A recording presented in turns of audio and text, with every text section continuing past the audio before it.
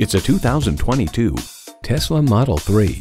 Its quick acceleration and long range make it easy to get up to speed and make the joy last. And with features like these, every drive is a pleasure.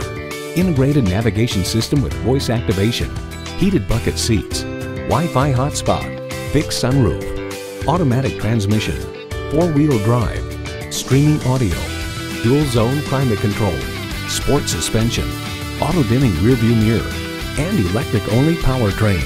Tesla believes going electric should bring with it an electrifying drive.